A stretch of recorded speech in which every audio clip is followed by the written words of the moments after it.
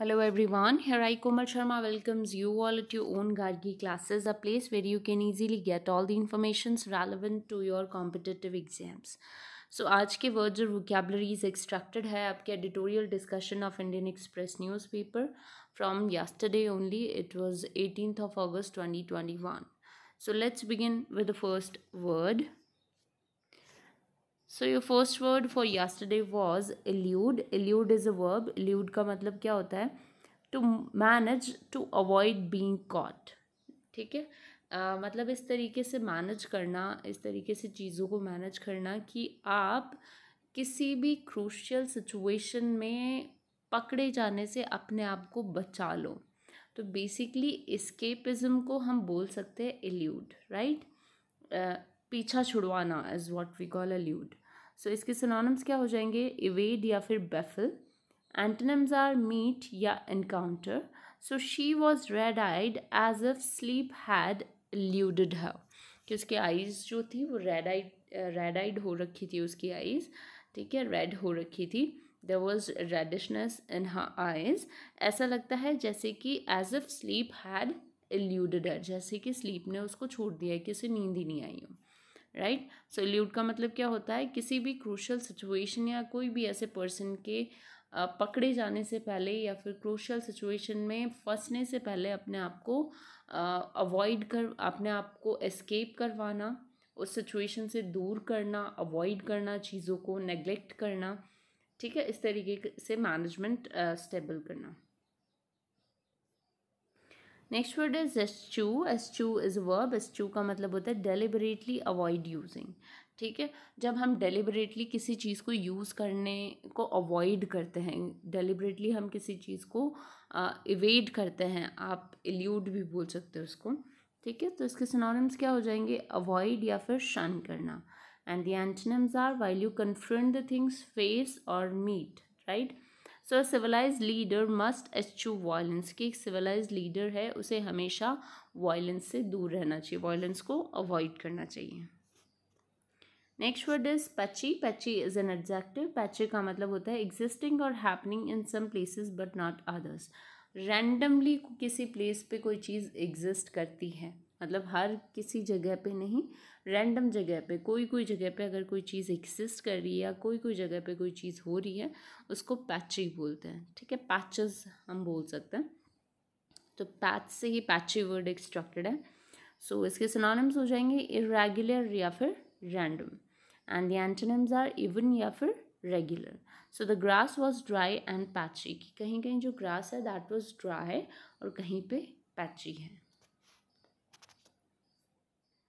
Next word is spawn spawn verb और noun दोनों के ही रोल प्ले करता है एक सेंटेंस में। और इसका मतलब होता है of fish frog etcetera release और डिपॉजिट एग्स जब कोई भी फ़िश फ्रॉग कोई भी ऐसा एनिमल जो एग प्रोड्यूस करता है सो so जो अपना प्रोड्यूसिंग सिस्टम होता है टू प्रोड्यूस और टू डिपॉजिट और to release the eggs is what we call spawn ठीक है? सो प्रोड्यूस करना ओरिजिनेट करना, किसी चीज़ को पैदा करना is what we call spawn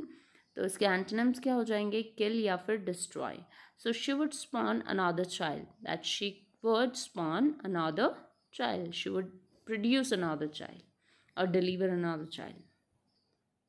next word is cling cling is a verb cling का मतलब होता है to hold on tightly to somebody और समथिंग किसी चीज़ को या किसी पर्सन को टाइटली पकड़ना, उसे होल्ड करना is what we call cling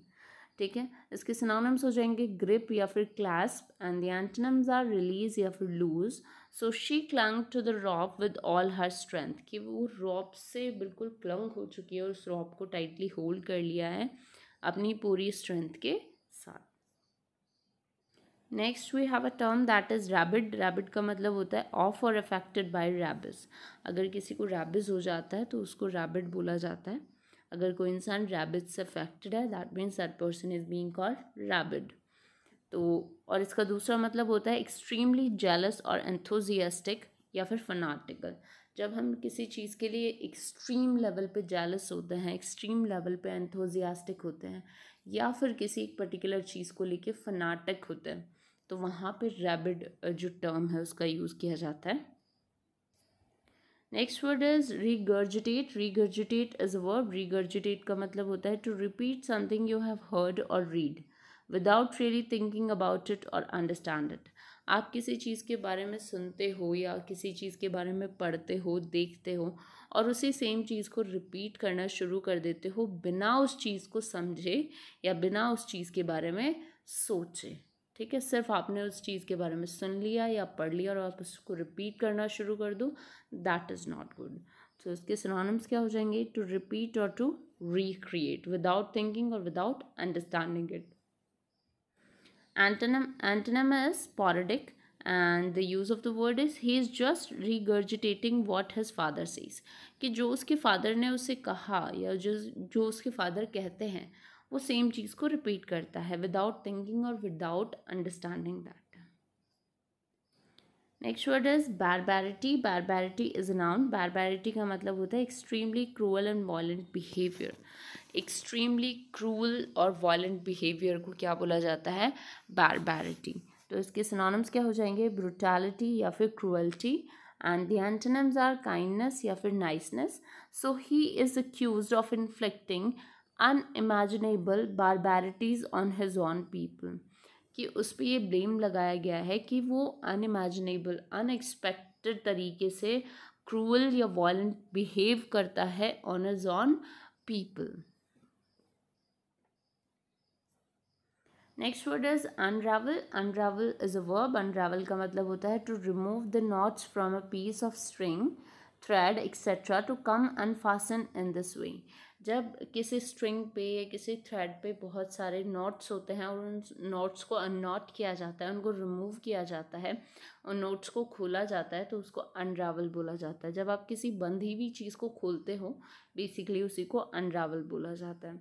so resolve करना एंड डिस्क्लोज करना are the synonyms antonyms are knot या फिर tangle so I unravel the tangle string and wound it into a ball कि जो मैं जितने भी टैंगल जो स्ट्रिंग्स हैं, उनको अनरावल उनको अनफास्टन या उनको खोल रहा हूँ रिलीज़ कर रहा हूँ and wound it into a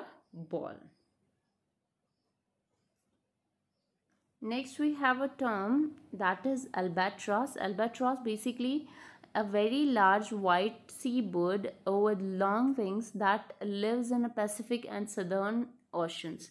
Pacific या सदर्न ओशंस में रहने वाले एक बहुत ही बड़े सी बर्ड को बेसिकली एल्बर्ट्रॉस बोला जाता है, जैसे कि आप यहाँ पे ये देख रहे हो right next word is singe singe is a verb singe का मतलब होता है to burn the surface of something slightly usually by accident to be burn in this way ठीक है? जब किसी भी चीज़ का, किसी भी एक पर्टिकुलर मटेरियल का जो एंड पार्ट है, वो बर्न हो जाता है स्लाइटली या फिर एक्सीडेंटली एंड वो जब बर्न होता है तो वो बहुत ही मामूली सा बर्न होना is what we call singe basically so ignite या फिर टॉर्च हम इसके लिए सिनोनिम्स यूज़ करेंगे antonym is freeze so my sweater started to singe when I lean over a burning candle की बर्निंग कैंडल के ऊपर जब मैं झुका या झुकी तो मेरी जो स्वेटर है, वो धीरे धीरे बर्न होने लग गई in a very slight way next word is malevolent malevolent is an adjective इसका मतलब होता है हैविंग और showing a desire to harm others जब आपके अंदर ऐसी डिज़ायर होती है कि आप अगले पर्सन को हर्ट करना चाहते हैं, उसे दुखी करना चाहते हैं सो उसे मैलवोलेंट एक मैलिस फीलिंग के लिए हम यूज़ कर सकते हैं। जब आप मेलिशियसली आप ये अपने फीलिंग्स को क्रिएट करते हैं that I want to harm और I want to hurt the next person is what we call malevolent malicious या विशियस हम इसके लिए सिनोनिम्स यूज़ करेंगे. एंटनम्स आर काइंड या फिर nice so gossip is hurtful and mean and can not be described as anything but malevolent ये जो gossip हम करते हैं, वो हर्टफुल होती है मीन वे ऑफ़ टॉकिंग होता है. And we cannot we cannot say that it is described as anything uh, as anything except है malevolent कि malevolent के अलावा हम इसको और कोई चीज़ दे भी नहीं सकते malicious चीज़ होती है basically so these are the words for yesterday thank you so much stay continue with gargi classes अगर आपको इस सेशन की पीडीएफ फ़ाइल चाहिए तो आपको टेलीग्राम पे मिल जाएगी चैनल का जो लिंक है वो डिस्क्रिप्शन बॉक्स में दे रखा है थैंक यू